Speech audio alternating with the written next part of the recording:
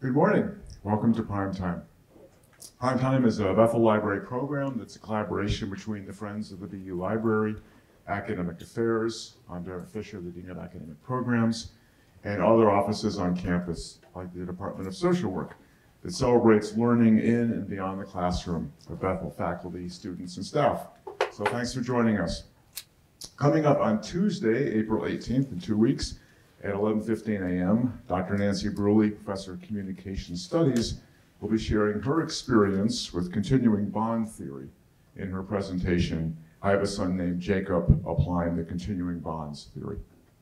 So today, Drs. Eydie, Drs. Eydie Shypulski and Samuel Zalanga of Social Work will help identify how neoliberal, neoliberalism impacts social work, practice, and education and if you would appreciate knowing exactly what the key elements of neoliberal philosophy are and the implications for being human, which I would appreciate knowing about, I understand that they are going to tell us. So let's welcome Dr. Eydie Shypulski and Dr. Samuel Zalanga. Hi, good morning, everyone. Thank you so much for taking time to come um, and listen to our talk. I'm honored to be able to collaborate on this work with Dr. Samuel Zalanga my friend and really has served as a mentor for me since I came to Bethel um, and helped guide me through my own dissertation and then came to join us in the social work department. So we really appreciate um, his brilliant partnership with us. And he is gonna, um, as we, oh, I've got this fancy thing here. So um, our goals for today are to provide first an overview of neoliberalism, and Samuel will take the floor to do that very expertly. And then we're going to talk briefly and explore the relevance and relationship to social work practice. And we've added in some theological considerations um, for us to kind of just briefly touch on. So I will pass the uh, floor over to Samuel, who will start.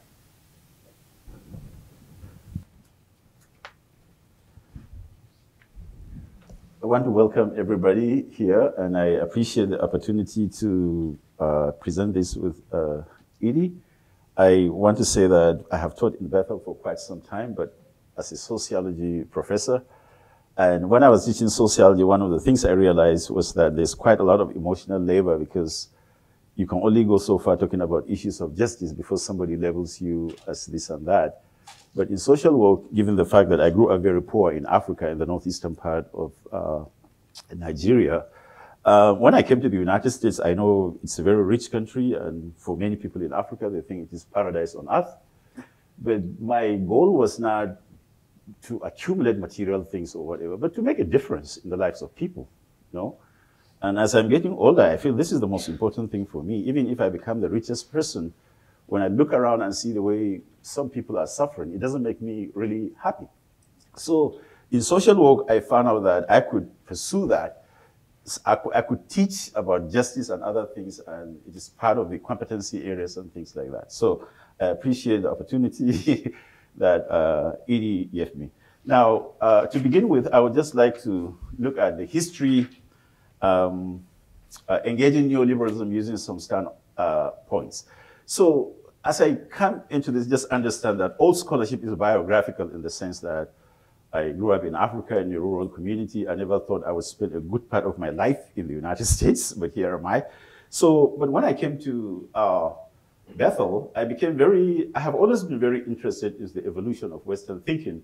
And so I taught Western humanities. And in my view, when you look at uh, the evolution of thinking in Western humanities, you feel like, okay, given what is happening, either, let's say in the United States, we're the most advanced industrialized nation, okay?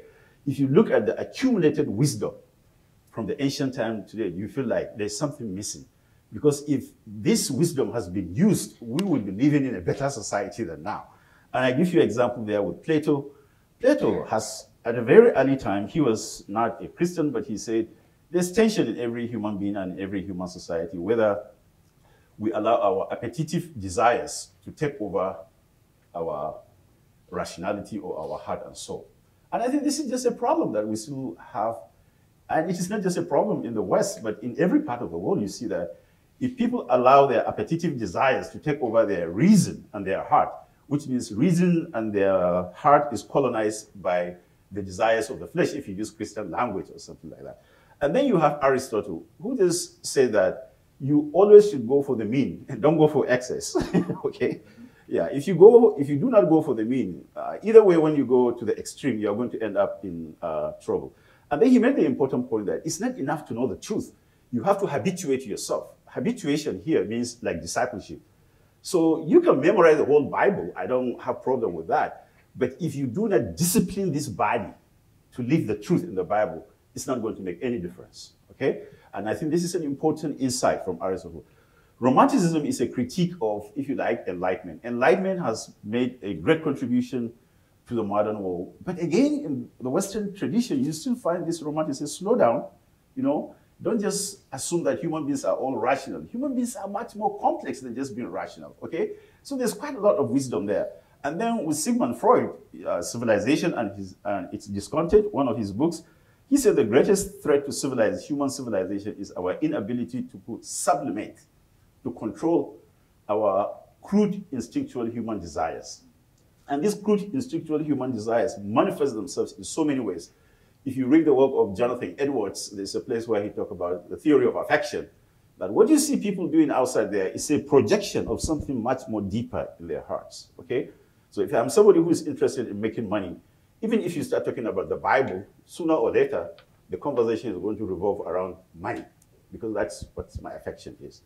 So and then from the point of view of the history and evolution of Christianity, again, when I think about that, I feel like our problem today is not that Christianity doesn't have the truth.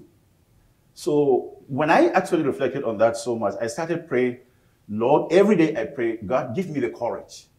Because I've come to realize that there's quite a lot of knowledge of Christianity, the truth. People know that. Don't tell me that they do not know that. But do they have the courage to live it? Not necessarily so. So take, for instance, St. Augustine. St. Augustine, in his City of God, made two points that I would like to raise here, which are relevant for us.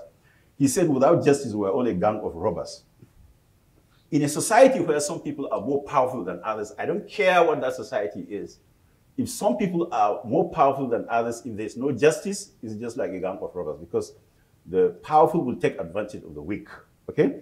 And then he also made the point uh, about libido dominandi. He said the Romans have courage but their courage is libido dominandi.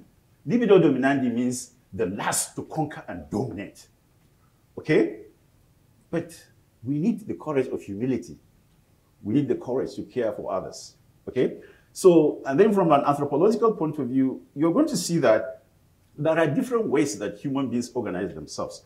Sometimes we feel like there's only one way, but in reality, there are several ways that do that. But sometimes when we talk, we pretend as if that's the only way and I think this has become a means of control and domination. So having said that, what, what I'm trying to get at with those things is just that for me as a person, even though I'm not a person of Western ancestry, I feel like when I read the wisdom there, I just feel like there's something missing. If you look at sometimes what is discussed on TV or something like that, you feel like, wow, since the time of Socrates to date, and we're still talking about this? No, we should be doing something better. We should be discussing something better. Okay? The same thing from a biblical perspective. Now, the origin and phases of neoliberalism. Some of you may be uh, unsure of what this neoliberalism is, but I'm going to talk about it later. And we do not have the time, so I would like to rush through this so that Eydie can come on. But the debate that started when, uh, if you want to understand the origins of neoliberalism, it's a debate in Western civilization between individual liberties and the common good. Individual liberties means you just want to pursue your freedom. And there's quite a lot of debate about that. I don't want to digress because that would take too much of our time. But the idea is, should I just pursue my liberty, my freedom, okay, or should I pursue the common good? And if you think about liberty, I think there was uh, there was a time I was laughing when I saw one of the I think it was the former U.S. Secretary of State. Oh, he said, "America gives you the freedom to be stupid." okay, yeah. Of course, you will pay the cost. okay, okay. So liberty sounds really very interesting. But you know, you see documentary films where people, uh, KKK members with the cross burning and they're saying, amazing grace. They have the freedom. So this liberty can be anything. If you are gullible, people can just spread the information and you can just carry, be carried away from that. So liberty is good, but without social responsibility, no, it's not going to take us anywhere. So, but the idea of the common good is to say in Africa, there's a term they use Ubuntu. I am because we are. So, for instance, if I am working in Bethel and I can pursue my self interest, but it is going to harm the institution, should I do that? Or should I say, oh, no, no, no. In order for, the, for me to exist, we need the institution to function. So, why don't I take that into consideration? So, the idea of the common good is therefore very, very important. And this is the tension that still exists even in America today. This idea, the tension between liberties and the common good. And then uh, individual liberty oriented neoliberalism. So there are two different types of, if you like, neoliberalism. One is the one that emphasizes the individual liberties, and libertarians do that in the United States. And there was a time I taught a course, and one student told me that, do you think some evangelicals are closet libertarians?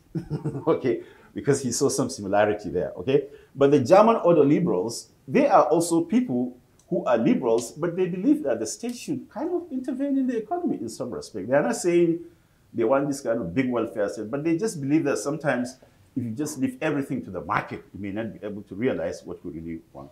Okay, so and then the next uh, phase would be uh, the emergence of Mont Pelerin society in 1947. So to give you an idea of what is happening uh, here, um, Mont Pelerin is a society that emerged in reaction to uh, Keynesian economics. So what is Keynesian economics? Well, after the second, after the Great Depression in 1929, you know, people started distrusting the market economy, and in the United States, we started regulating that and all those sort of things like that. And then during the Second World War, the government of Western Europe and the United States became very active in the economy, regulating the economy because you do not just want to just leave it like that.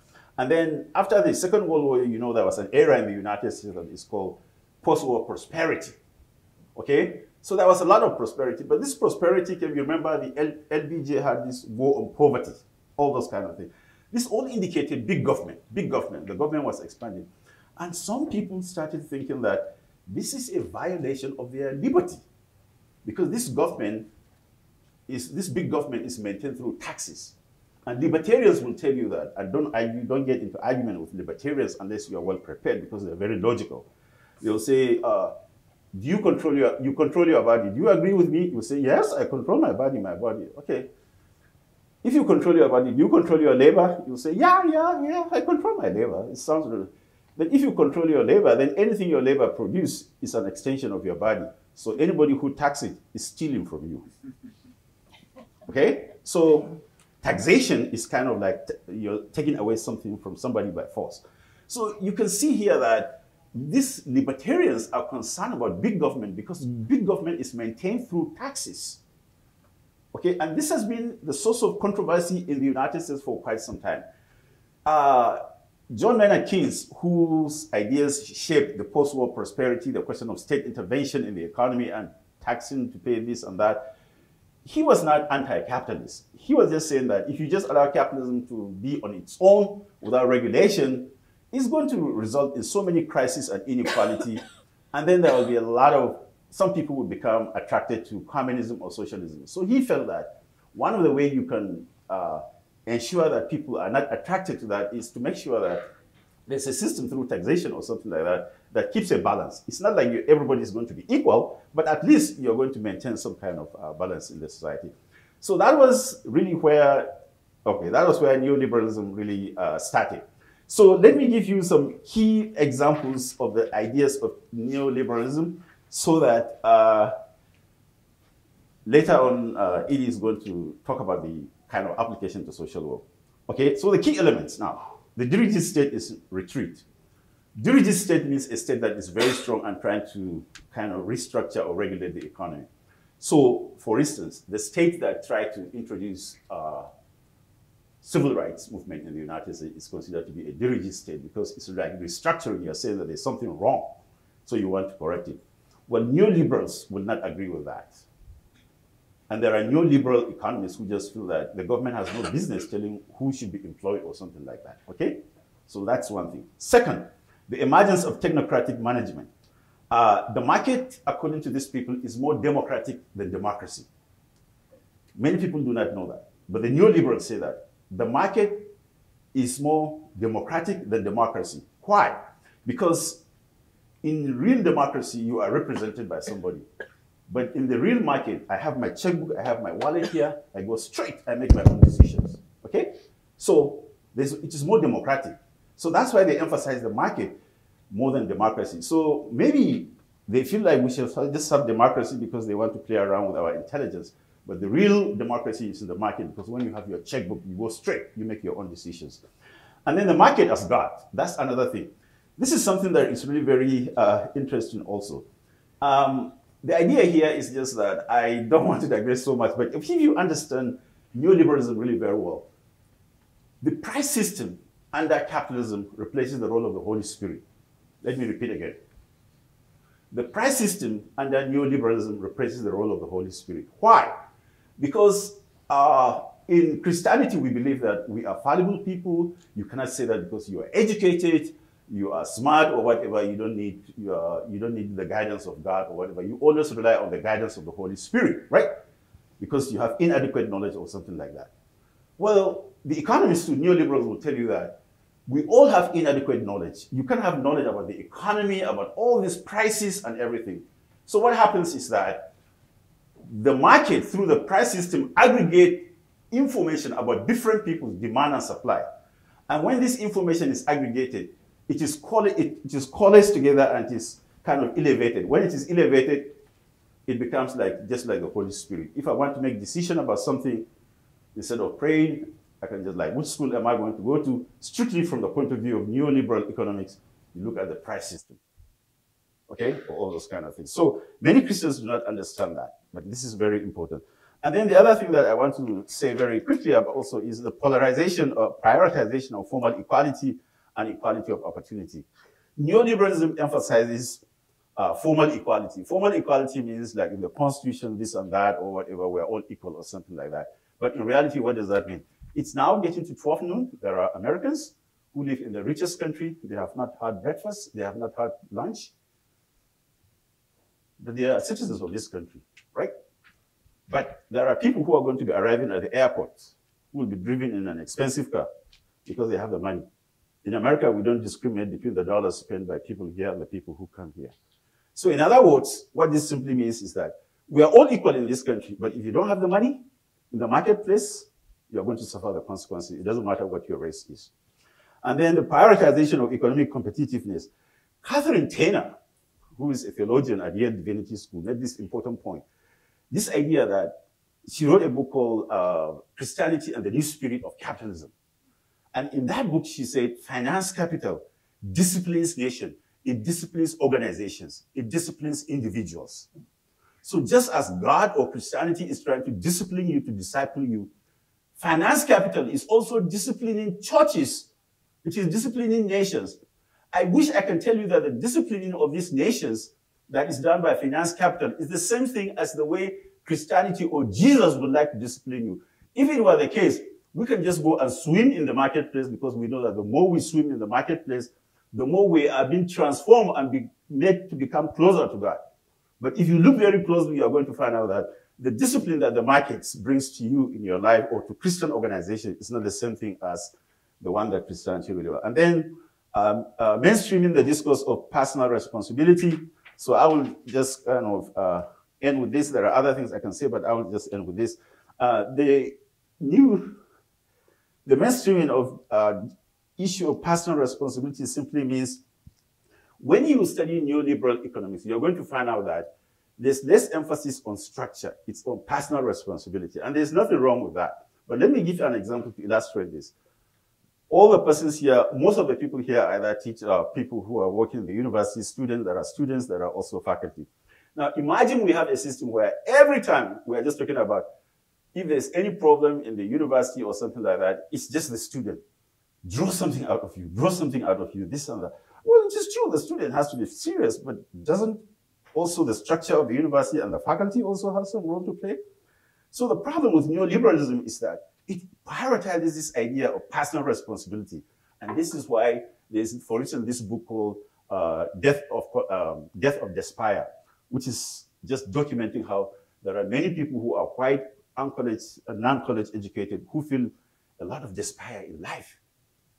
Because everything is about them, them, them, them. So they're committing suicide. It has brought down the life expectancy of the United States. Why? Many of us do not know about this. But the point here is just that if everything is about myself, about myself, if I am unable to cope, I will just find an exit. Okay? The idea here is not to say that people should not be personally responsible, but there is a need for balance between how structures function and how, uh, how individuals also behave. So I'll just stop here. Oh, no, no, no. I have, do I have? Oh, okay. okay. So uh, the impact of neoliberal thinking on public policy. Let me talk a little bit about this. This is very interesting. The elimination and weakening of public guarantee of minimum social security. So you remember the libertarians do not want people to be taxed or something like that. The amazing thing is that one of the champions of neoliberalism, looking at society really very well, uh, that's Friedrich von Hayek, realized that if you don't take care of the poor, you're going to have problems in your society. Okay? Let's be frank about it. So taking care of the poor sometimes it's not like you're not you're just doing it for yourself. Yourself. Because if people are very frustrated, they're very angry, there's going to be more violence in the society. And we don't want to live in that kind of society. And if you read the work of Alexis de Tocqueville, there's a term he used, self-interest properly understood. Self-interest properly understood simply means that even if I'm going to be taxed so as to take care of some people who are desperately poor, my self-interest will tell me that if these people are happy and I can feel more secure in my society, I don't have to feel like somebody would go and at a gunpoint say they want the keys of my car or something like that, okay? So that's something really very important. But the neoliberals do not want to take any responsibility in that respect. And then creating new kind of human being. If you read the work of Margaret Thatcher, for instance, there's a documentary film, for instance, where uh, the whole documentary film is about her. I've used it in some classes that I've taught. It's amazing when you see the party policies she implemented. You would be surprised that she did that because she doesn't seem to have concern for people. So at the end of the documentary, they asked one of her cabinet members, what do you think is her legacy?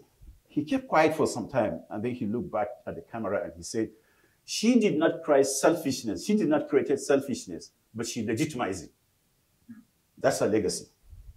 She did not create selfishness. Selfishness has always been existing in society, but she legitimized it. So there's a way new liberalism can legitimize selfishness. Okay? And I don't have the time to get into that because there's quite a lot of things we can talk about how selfishness is kind of uh, legitimized. For instance, in some language, they talk, things, they talk about things like the pursuit of legitimate aspirations. When you hear that, you feel like, wow, it sounds really nice. Well, wait until you go and check the details. You find out that this pursuit of legitimate aspirations is actually just kind of like crude selfishness that has been now packaged, covered with a separate canopy. It looks so nice. And then there's this idea of dismantling the welfare state. You know this very, very well. And the interesting thing is that as we live in America, if you read the book by Patrick Deneen called Why Liberalism Failed, liberalism doesn't have any clear destination for humanity. Christianity has an eschatology. You start here, you're going to end up here. But liberalism doesn't have any clear destination.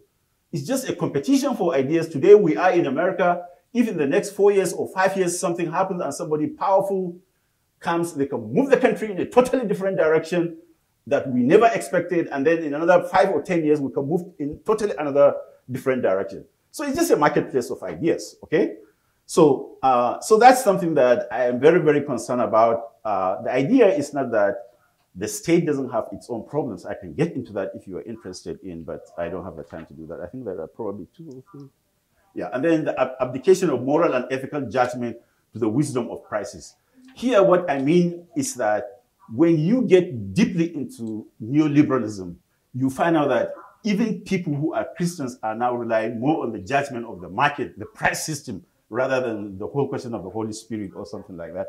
Sometimes, actually, Christian organizations may make decisions based on the market, based on price or whatever. But then after they make the decisions, they can go and kind of package it and then present it covered with a sacred canopy. Okay? And then finally, the urban center becomes the neoliberal paradise. If you notice in this country, there's a way we ignore rural people. Let's be frank about it. When I came to this country, I wanted to specialize in rural sociology. And I still maintain interest in what is happening in rural America. Many of us feel that what is America is just people who live in the urban center. Okay, because under neoliberalism, if you want to invest money, you are not concerned about the humanity of people What you are concerned about is where are you going to get the highest return on the dollar invested? Go and check Wall Street. You are not going to see uh, corporation on Wall Street being uh, evaluated in terms of how many jobs have they created in the United States. No. Wall Street corporations are judged or evaluated in terms of when you invest money in them, what is the return on the dollar? Corporations that do that get a higher ranking.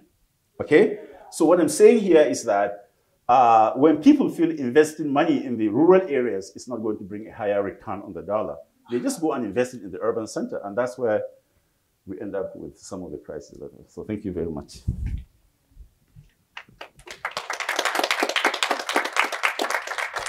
Thank you, Samuel. I, I kind of wish I could have gone first because it's really hard to follow Samuel. Um, but I'll spend a little time now talking about how to apply the social work lens to concepts of neoliberalism. And I want to just highlight, you know, as, as Samuel talked about the market as God and, excuse me, the dismantling of the welfare state, those are the particular things that are of relevance to us as social work practitioners.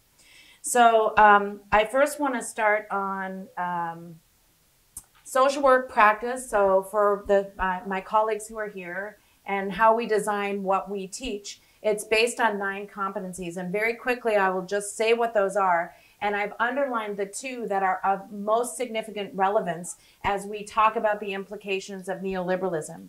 So we strive to um, be justice informed practitioners who do ethical and professional practice. We strive to engage with diversity and difference in practice.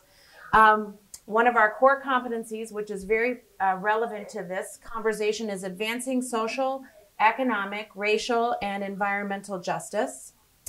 Uh, research informed practice and practice informed research, and then justice informed policy practice. Why? Because it is those policies that are in place that contribute to the systems that continue to perpetuate oppressive structures.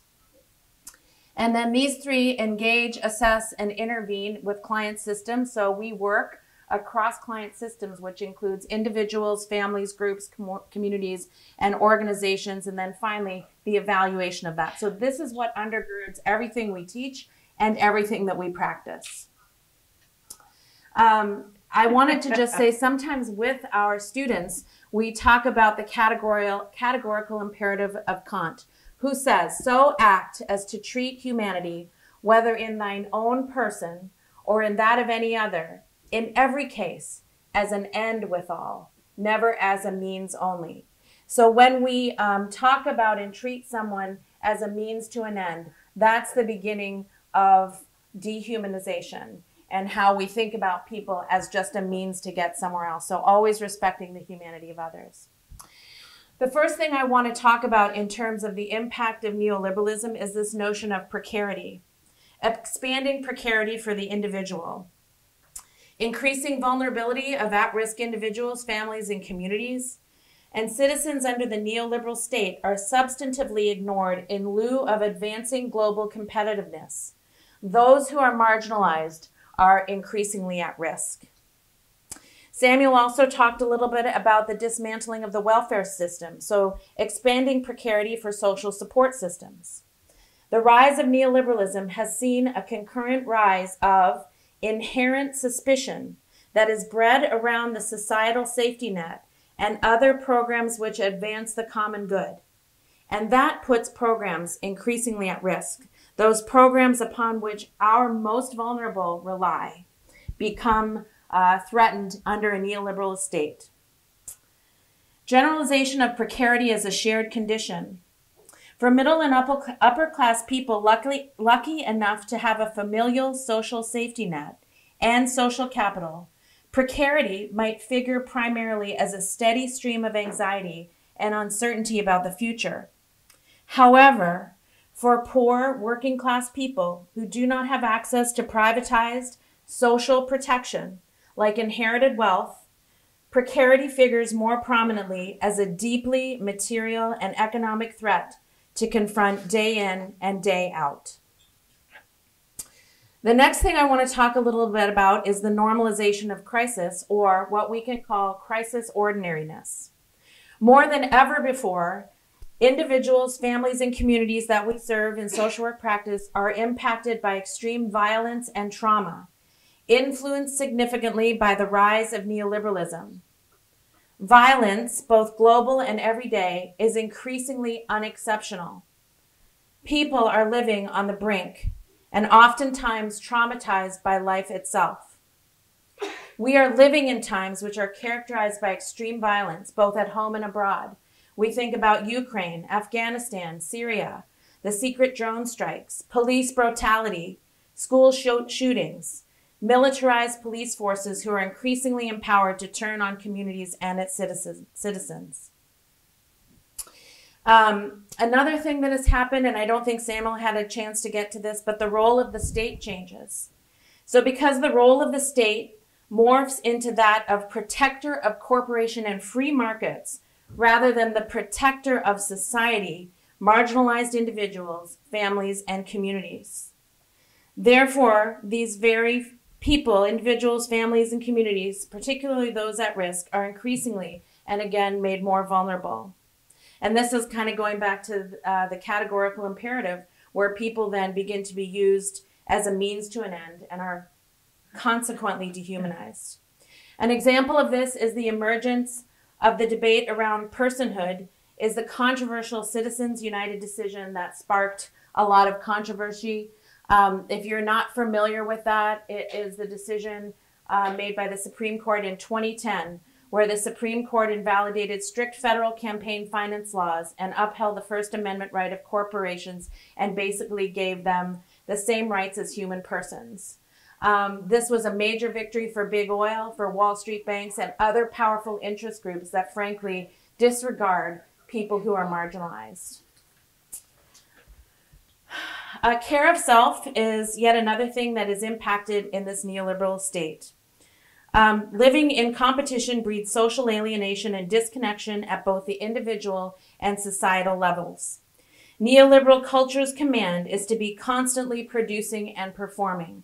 So for people who can't produce, for people who can't perform, they begin to lose their intrinsic uh, value and worth and the human dignity, dignity that we ascribe to that. Um, through this lens, human beings are increasingly commodified, their worth tied only to what they can produce. And as a result, those who cannot perform or produce are increasingly dehumanized.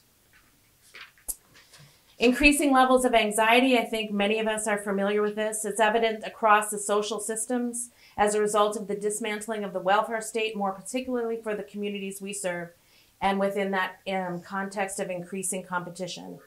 When coupled with the notion of individual responsibility, people are left on their own. And the more vulnerable they are, the more difficult it is for them to survive. In a systematic review, researchers analyzed data from dozens of studies and reported the, uh, an increase in the major depressive disorder, which increased 28% globally since the pandemic, and anxiety disorders, which increased 26% since the pandemic. So you can see those numbers out of 100,000. I want to turn a little bit more to talk about the commodification of social work in the context of neoliberalism. Our social work practice is dependent on broken systems. So, one of the important questions we have to ask ourselves is our practice designed to perpetuate these systems? And if so, are we just making suffering sufferable? There is an increasing threat to academic freedom as institutions increasingly develop formulate goals linked to economic and vocational imperatives, maintaining market shares, and reacting to industry demand. So we even see that here, like the importance of social work as a license program or all of these programs that have pathways to being productive, right? So it begins to um, de-emphasize that really valuable piece of liberal arts education that is so important to understanding what does it mean to be human. Unwittingly, social work education and practice can be easily co-opted into uncritical acceptance of neoliberal discourses that support and entrench inequality. So, one of the things that we have done in response to this is to develop our Justice Informed Master's Program, where everything that we are trying to do and teach our students, we're actually now doing it in the undergraduate program, is for them to have a justice lens, a look at an analytical way to look at systems that continue to perpetuate this um, oppression within the context of the neoliberalism. neoliberalism.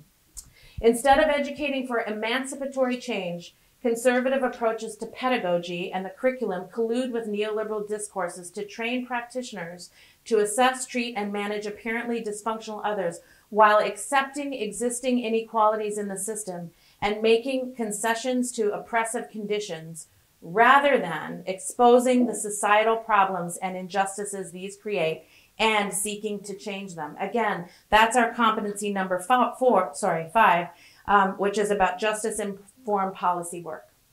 We should promote instead focus on critical forms of social work that critique the dominant social structures and power relations which cause broad social divisions and systemic inequity. Paulo Freire expressed that social workers have to be more than moral agents and that our attempts to be neutral result in the propagation of oppressive hegemonic systems. As social workers, we must concern ourselves with understanding and addressing the impacts of neoliberalism. What does that mean? It means that we critically examine our practice, which leads us to critically examine, examine the systems to assess whether the tenets of neoliberalism and globalization again, as Samuel was talking about, where the market is God, have limited our objectives to be compliant with the dominant discourses rather than engaging in critically reflective, transformative learning and practice. It is our obligation as a part of our competency number one about professional and ethical practice to educate and train practitioners who foster social capital and community participation and step aside to leave space for the influence of those who are most left out of the systems built to maintain or which maintain neoliberalism. We regularly should be asking whose interests are served, who is at the table by these traditional social work roles and functions that we fall into and, and our how we're educating our students. We should critically think about how we apply social work theoretical frameworks to see who is given access to be in control and more importantly, who is left out examine and address oppressive underpinnings in our social work educational system by using anti-oppressive lenses and frameworks, and to understand that critical theory is about human li liberation and emancipation. Where, again, where is our practice? Where is our education? What are we doing that's just making suffering sufferable?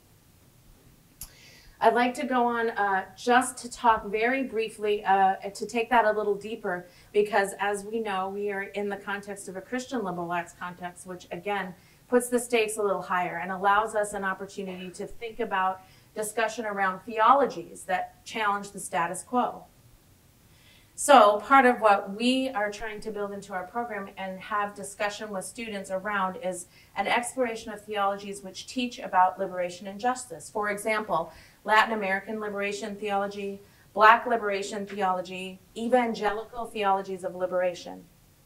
So what does Latin American liberation theology teach us about liberation and justice? I don't have, well, one, I'm not an expert. You probably have to take a class in the BTS. But I can highlight a few things, and I'm going to just um, put in a couple quotes here from Gustavo Gutierrez.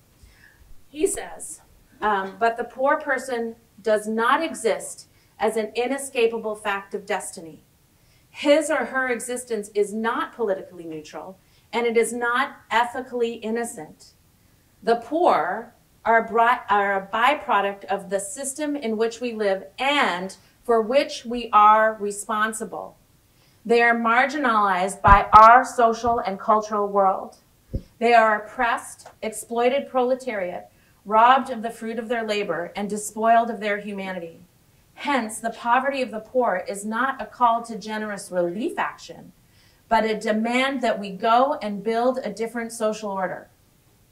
Now, I'm going to tie that directly back again to our policy practice. We are there, yes, to serve people in crisis, but we are also there as social workers to change the social order, to build a new social order, to create new policies and challenge structures that um, perpetuate this cycle. Gutierrez says theology is reflection, a critical attitude.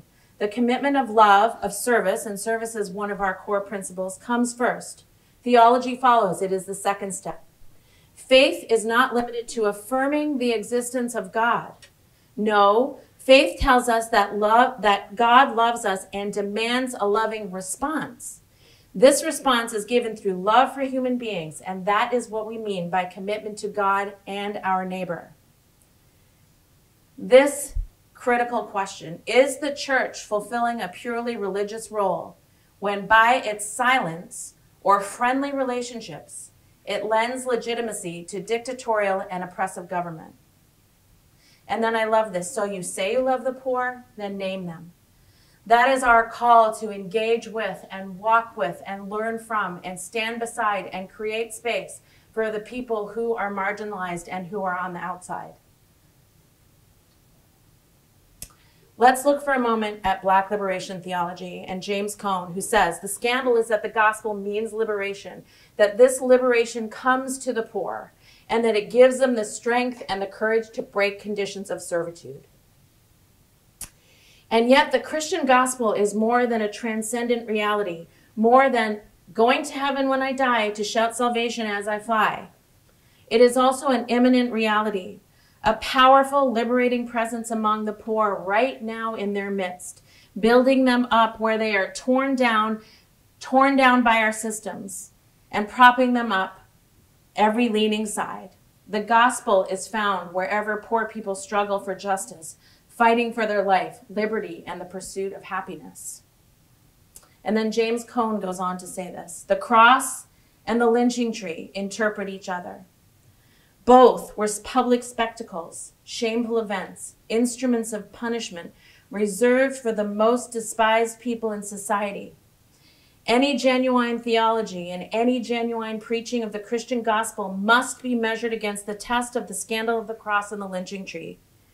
Jesus did not die a gentle death like Socrates with his cup of hemlock. Rather, he died like a lynched black victim or a common black criminal in torment on the tree of shame. The crowd shouts, Crucify him. Anticipated the white mob shout, Lynch him. Jesus' agonizing final cry of abandonment from the cross, My God, my God, why have you forsaken me? was similar to the lynch victim Sam Hose's awful scream as he drew his last breath, Oh my God, oh Jesus. In each case, it was a cruel, agonizing, and contemptible death. Let's consider just for a moment evangelical theories of liberation. White evangelicals often portrayed liberation theology as antithetical to evangelicalism because of the invariable connection with Marxist thought, many evangelicals tend to reject liberation theology as a communist and hence non biblical approach without simultaneously addressing U.S. complicity in supporting repressive g- regimes. With the emergence of a focus on justice work as an expression of faith, which we see in many evangelical circles more recently, the idea that the pursuit of emancipation and oppression is antithetical to the core tenets of evangelicalism is increasingly contested. Evangelical tenets of faith can inform justice rooted liberation in praxis. J. Denny Weaver, in his book, The Nonviolent Atonement, which I highly recommend, says New, New Jerusalem, New Jerusalem is found wherever human community resists the way of empire and places God at the center of its shared life. As a department of social work, we believe that our integration of faith and learning informs our Christian liberal arts learning context, as well as our approach to the sacred work of advancing human rights, social, economic, and environmental justice. It should say racial in there as well. Um, and that's the way, for me, I don't know how other how else other to express my faith other than this work of justice that I believe God calls us to. There are biblical mandates to end oppression. Learn to do good, seek justice, correct oppression, bring righteousness and justice to the fatherless and to the weak. Plead the widow's cause, maintain the right of the afflicted and the destitute, love kindness, walk humbly, deliver who has been robbed from the oppressor, and do no wrong or violence to the resident alien, the widow, nor shed innocent blood. Open your mouth for all who are destitute. Defend the rights of the poor and needy. Show kindness and mercy to one another. Do not oppress the sojourner or the poor and needy. Learn to do good. And again, seek justice and correct oppression. Um, I heard a sermon recently, and Samuel and I talked a little bit about uh, about this, about forgiveness and repentance. The tax collector who encounters Jesus doesn't just pay back what he stole; he gives back four times the amount. So, if we know the legacies that we have created through history and through policies, then shouldn't we respond in such a way to that and uh, seek repentance?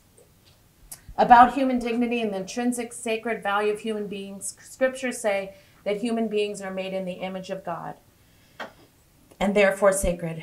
Translating a deeper understanding of the concept of the intrinsic sacredness of individuals, families, and communities is essential to engaging in a truly transformative social work practice, which critically, engage social, critically engages social workers in the advancement of human rights, social, economic, racial, and environmental justice, and justice driven policy practice. I love these sayings of Reinhold Niebuhr. The ego, which falsely makes itself the center of its existence in its pride and will to power, inevitably subordinates other life to its will. We think about in the context of that neoliberalism where market is God and the ego. And then he also says, if this is so beautiful, if perfect love is the sacrifice of self, sin is the assertion of self against others. Sin in this neoliberal context is always trying to be strong at the expense of someone else. And so, in closing, I think about um, when I took a philosophy class in undergraduate school and I was first introduced to Martin Buber's I, Thou, I, It philosophical construct, and I think it's very applicable. Um, and so I put together this, this thing, this little visual. So the I, It view of humanity, rooted in neoliberalism, market is God. Individuals are commodified they're viewed as human capital. Their rights are violated. They're only of, uh, considered to be of worth if they can produce and perform. Corporations have the same rights as human beings, and that safety net disappears because people don't care. People don't care in that context because we care about ego and self. So individuals, families, and communities are increasing that risk versus this I thou, I thou view of humanity which rejects the tenets of neoliberalism. Human rights and personal dignity are upheld. There's decreasing stress and violence. We then decide yes, funding for programs which enhance the well beings of families is important to us as a community in terms of advancing the common good. Those who are invisible, so many, are made visible. Human suffering decreases. And from a social work perspective, social, economic, racial, and environmental justice is advanced. So this is why it matters to us to understand neoliberalism. Thank you very much. And if we have any questions, Samuel will answer them. so are there any questions? We have two minutes. Please no, don't ask me anything.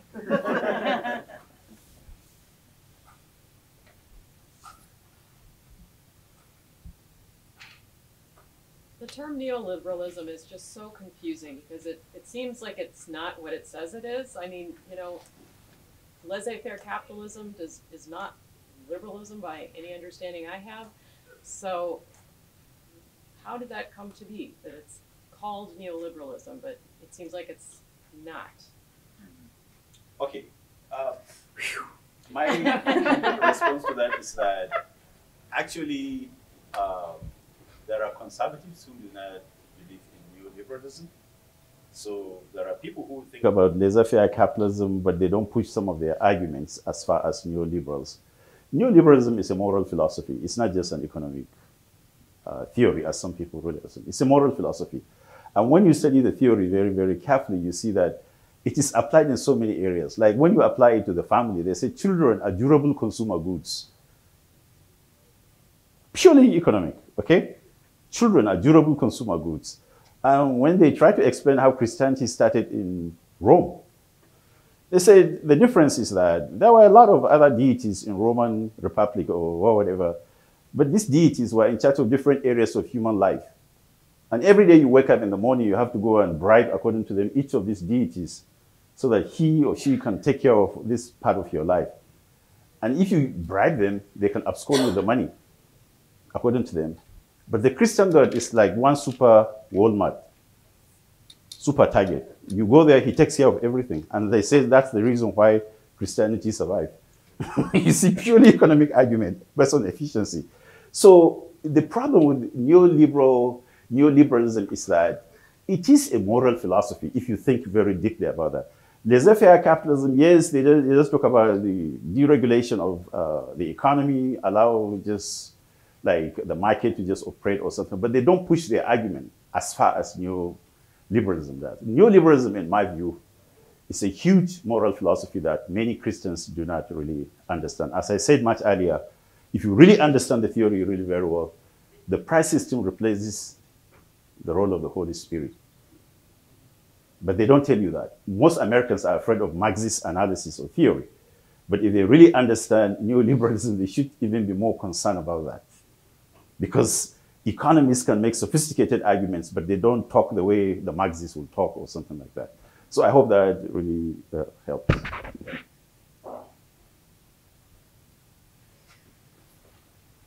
Thank you. Thank you very much.